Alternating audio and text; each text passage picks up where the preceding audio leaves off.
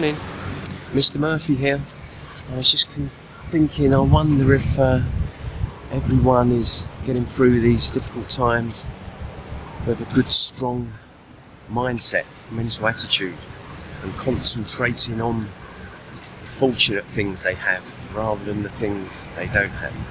Anyhow, I was also thinking about how people kind of design their life, and some people tend to just go through each day rather than having a plan. I think it was my dad, or I read somewhere, I think it was my dad. A man with no plan is a sad man. Anyhow, I was just thinking that what's happened recently has brought this digital economy forward by about 20 years, I would say.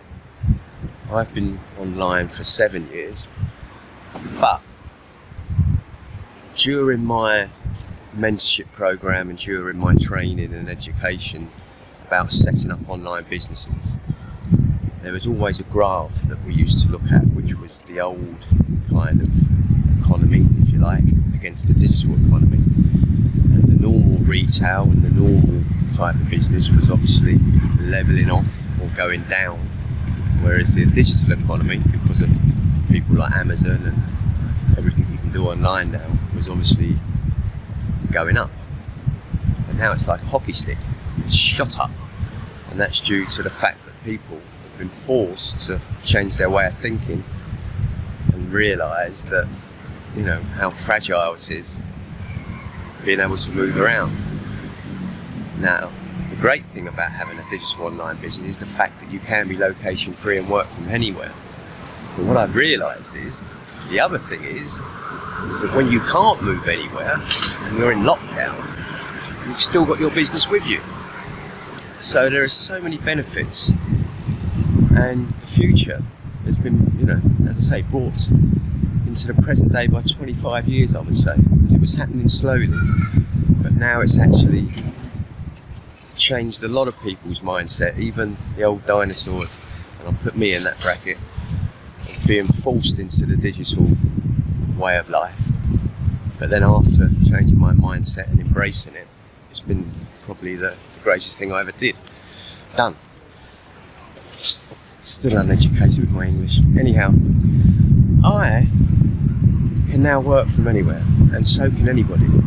With a little bit of work, a little bit of education, you can now do so many courses online, be up and running with a, a hobby, if you like, which can be run next to your everyday business. But if you're someone that wants to be location free, wants to have a portable business, wants to give up the commute, or wants to have the flexibility to choose where you live and work, then it's never been a better time.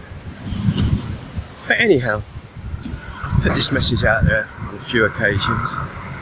This will go on to be sent out to the list of people that resonate with some of my videos and messages and have subscribed and occasionally I drop them hopefully valuable pointers on how to get things set up. But if you are someone that really would like to get online go and check it out. It's you know there's you can you can get online with e-commerce you can have it as a hobby you can make it your passion project. Whatever skill you might have you can monetize it. You've just got to set it up properly. It's not so much the product or the service it's the system that you put in place to actually get it up and running. Anyhow that was my morning thought as I walked along here.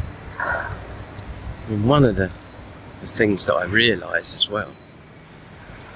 Is living in a place living in a place where you I mean I've been lucky enough to to do that. It wasn't always by design but I was to, to live in a place where you don't have to go on holiday and I, I've had that for so many years now because I actually made a plan to live somewhere I wanted to be and not have to commute or get stuck in the madness of a, a big city.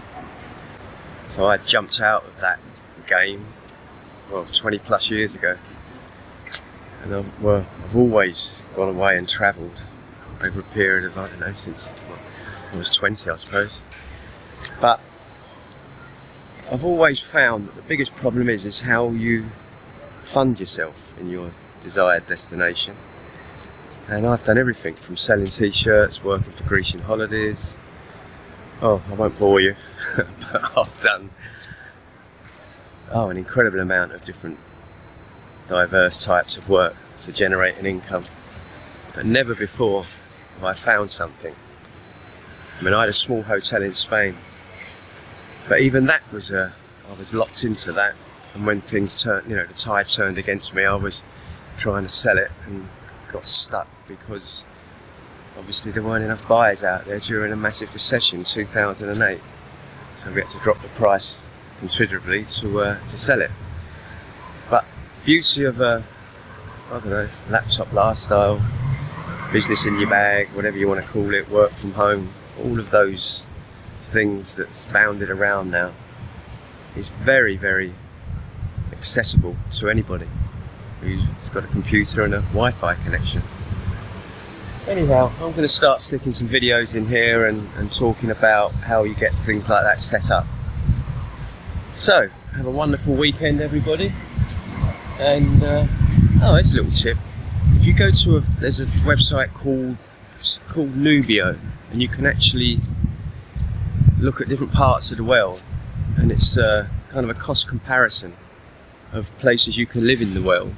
Everything from uh, an espresso, the price of a coffee, down to the price of an apartment, and obviously down to all of your living costs.